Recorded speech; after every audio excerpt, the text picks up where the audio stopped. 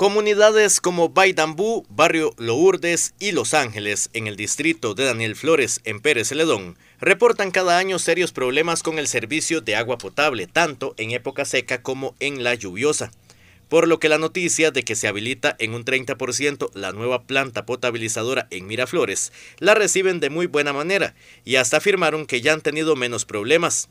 La noticia fue confirmada en una reunión que se sostuvo en el Salón Comunal de Palmares, la cual fue coordinada por los representantes del Instituto Costarricense de Acueductos y Alcantarillados para hacer la presentación oficial del proyecto y los alcances que se tienen. Sí, la verdad es que para nosotros es muy importante todo este proyecto y nos alegra mucho, ¿verdad?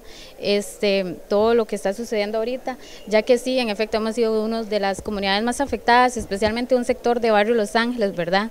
Que es como el que está más cerca de Bonos Agro, es como el lado que siempre, siempre se ve más perjudicado. En este momento han tenido problemas o ya han empezado a observar que, ya no llega, que ya sí está llegando el agua. Claro, sí se han visto los cambios, porque actualmente, este, gracias a Dios, em, hemos estado mejor con el abastecimiento del agua, claro. Bueno, para nosotros es mucha satisfacción saber que hay un, un proceso nuevo para que podamos tener agua potable y que no tengamos, tengamos el eterno problema de que siempre que hay disminución de agua, cortes de agua, Baidambú prácticamente se queda sin agua. Bueno, a veces dicen que un día y son dos días y estamos siempre en la misma situación.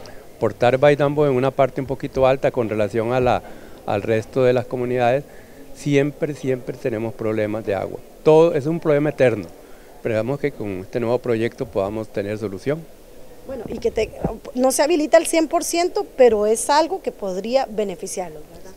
Sí, correcto. Todos sabemos que las cosas no pueden llegar de, buenas a primeras este, ya un 100%, pero si eh, podríamos obtener un 50% de solución a este problema de faltante de agua, ya sería una solución para la Unión Zonal de Asociaciones de Desarrollo del Distrito de Daniel Flores.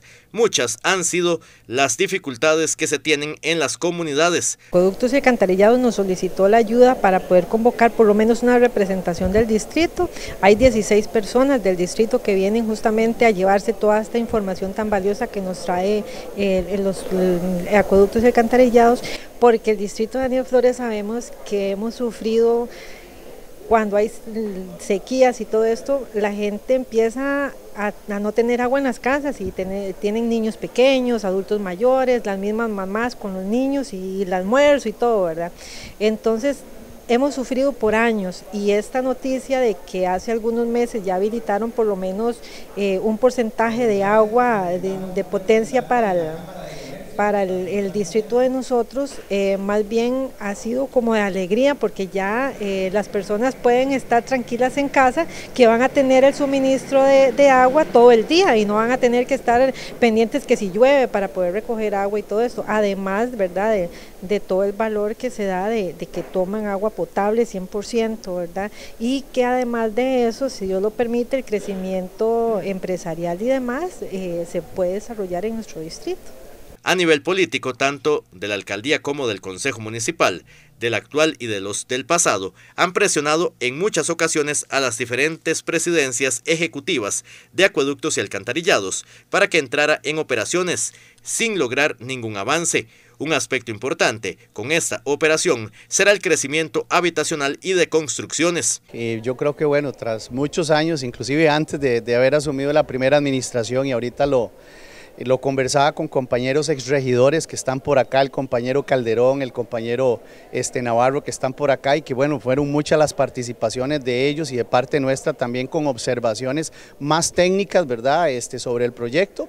Eh, hoy dichosamente al menos sabemos que parcialmente entra en operación, que ya en este momento pues ya hay bombeo y pues que aliviana la carga entre San Isidro y Daniel Flores.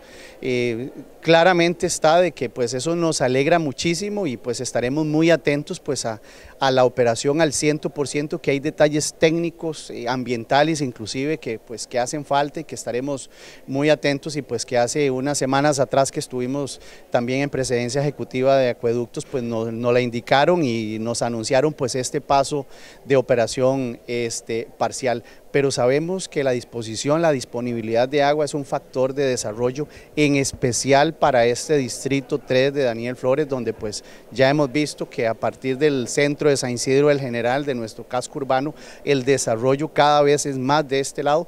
Hay muchísimo que desarrollar, siempre, por supuesto, pues con, con la parte responsable que siempre eh, se espera que así sea entre los desarrolladores, entre el gobierno local, eh, pero sin agua, sin disposición, sin disponibilidad de por supuesto que no hay avance y no hay desarrollo. Las diferentes comunidades tienen muchas expectativas y esperan que con este arranque se pueda tener mejoras en el servicio.